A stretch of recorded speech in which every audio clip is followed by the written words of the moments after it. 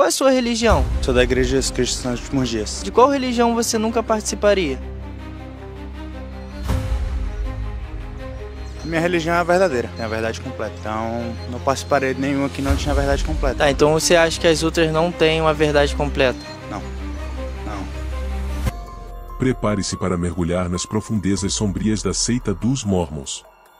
O próprio nome da Igreja de Jesus Cristo dos Santos dos Últimos Dias confessa seu exclusivismo, uma das principais características das seitas. É que a vogal que antecede o nome da organização destaca ser a única Igreja de Jesus Cristo. O nome gigante tem a mesma proporção que as heresias inventadas por Smith. Os adeptos da seita não gostam de ser chamados de mormons, preferem ser identificados como membros da Igreja Sud mas eu ainda prefiro chamar como Mormons, pois nos faz lembrar que suas heresias estão fundamentadas sob o tenebroso anjo Moroni. Se você acredita que meu trabalho é importante, não se esqueça de dar o like e inscrever-se. Eu agradeço de coração. Fundada em 1830 nos Estados Unidos por Joseph Smith, a seita dos Mormons coleciona polêmicas e riqueza. Muita riqueza. A organização teve início quando seu fundador, Joseph Smith ainda era um garoto de apenas 14 anos. Na primavera de 1820, o jovem foi a um bosque, próximo à fazenda onde morava. Enquanto orava, perguntou ao Senhor em qual religião deveria congregar, quando segundo Smith, Jesus Cristo, e o próprio Deus Pai, teriam lhe aparecido. Num lance astral, Deus o chamou pelo seu nome e apontou para Jesus Cristo dizendo, Este é meu filho amado. Ouve-o. O ser ainda disse que Smith não deveria unir-se a nenhuma das igrejas existentes naquele tempo, pois todas estavam erradas e que seus líderes se aproximavam de Deus com a boca, mas não com o coração. Nisso ele falou a verdade, apenas esqueceu que também estava fundando uma dessas. Eu fico imaginando como as pessoas conseguem acreditar num conto de fadas como este. É surreal. Três anos mais tarde, em 1823, Smith teria recebido a visita de um anjo chamado Moroni. O anjo guiou até uma colina, onde lhe mostrou um livro em forma de placas de ouro. O livro narrava a história de uma civilização oriunda de Jerusalém, a qual havia se estabelecido nas Américas. O anjo autorizou que Smith traduzisse o livro para o inglês. Ocorre que depois do trabalho realizado, o anjo recolheu a peça original, essa é a razão pela qual o grupo é conhecido como Mormons. No entanto, nos últimos anos, os adeptos do mormonismo preferem ser chamados, segundo o que é pregado pela seita, o anjo Moroni é filho do profeta Mormon, que viveu 421 anos depois de Cristo. Antes de sua morte, Mormon teria incumbido ao filho Moroni a missão de escrever instruções para a restauração da igreja de Jesus. Essa é a razão pela qual eles mantêm uma imagem do anjo Moroni no topo dos templos. Vai vendo como se constrói uma seita.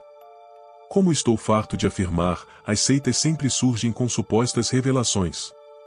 E é muito interessante como cada seita afirma ter uma revelação divina, sempre contraditórias entre si. Tentam ser diferentes, e são. Uma mais bizarra que a outra. Dentre as principais heresias pregadas pelos mormons, destacam-se a proibição do café, chá de ervas, bebidas alcoólicas, refrigerantes e outros alimentos considerados prejudiciais à saúde. Na verdade, tudo que contém cafeína é evitado pelos fiéis. Os mormons batizam os familiares mortos, pois acreditam que todos que são batizados serão salvos. Uma das principais polêmicas da seita é a poligamia acreditam que as famílias continuam unidas após a morte. Essa é a razão pela qual Joseph Smith possuía mais de 40 mulheres. Algumas foram a ele reservadas para coabitarem no mundo vindouro. Smith chegou a se casar com uma garota de 14 anos. A menina estava reservada para viver com Smith no plano celestial. Smith ainda casou-se com esposas de seus fiéis. Como em todas seitas, as mulheres são vistas como inferiores. O fato de Smith ter reservado 40 mulheres para o mundo futurístico de sua imaginação pode te dar uma boa ideia do que está por trás da seita dos Mormons. Hoje a prática é proibida na maioria dos países no mundo, e a seita sofreu forte perseguição devido a essas práticas nada morais. É uma seita extremamente racista. O livro de Mormons está recheado de passagens em que o negro é visto como um estado de punição divina. Ouçam o que diz essa passagem. Livro de Mormon, 2 Nefe, capítulo 5, versículos de 20 a 23. A palavra do Senhor, portanto, foi cumprida quando me falou, dizendo: Se deixarem de dar ouvidos às tuas palavras, serão afastados da presença do Senhor. E eis que foram afastados de sua presença. E ele fez cair a maldição sobre eles, sim, uma dolorosa maldição, por causa de sua iniquidade. Pois eis que haviam endurecido o coração contra ele de tal modo que se tornaram como uma pedra, e como eram brancos, notavelmente formosos e agradáveis, a fim de que não fossem atraentes para meu povo. O Senhor Deus fez com que sua pele se tornasse escura. E assim diz o Senhor Deus: Eu farei com que sejam repugnantes a teu povo, a menos que se arrependam de suas iniquidades. E amaldiçoada será a semente daquele que se misturar com a semente deles, porque será amaldiçoada com igual maldição. E o Senhor assim disse, e assim foi. Esta passagem se assemelha muito aos escritos de Ellen White, a profetisa dos Adventistas. No próximo episódio, vou explicar o racismo pregado por Ellen White. Curiosamente, ambas seitas surgiram nos Estados Unidos, na mesma época, entre 1820 e 1863. Smith foi preso algumas vezes e, na última, foi morto por um grupo que invadiu a prisão, tirando a vida do líder sectário e de seu irmão, ambos presos por provocarem desordem pública. Nem por isso a seita interrompeu sua trajetória de sucesso. A organização de Smith se tornou uma das organizações religiosas mais ricas do mundo. Especialmente nos Estados Unidos, o grupo é dono de milhares de imóveis de alto valor e até shopping centers. Em dada ocasião, a liderança chegou a afirmar que quando alcançassem determinada quantia em patrimônio, deixariam de cobrar os dízimos. No entanto, tudo não passou de mais uma mentira para enganar incautos. Os dízimos continuam sendo cobrados com rigor. Em cada uma das unidades, a seita possui um templo principal e uma capela. No templo, só é permitida a entrada de pessoas dignas. Uma das exigências para acessar a área do templo é de ter pago o dízimo rigorosamente em dia nos últimos 12 meses. Foi isso mesmo que ouviu. Se o fiel falhar em um só dia, terá que ser pontual nos próximos 12 meses, caso deseje se tornar digno para ingressar no templo no próximo ano. Alguns fiéis ainda vêm aqui afirmar que eu persigo religião, Francamente, eu não sei o que passa na mente dos incautos. Como podem se submeter a tal humilhação? É inacreditável.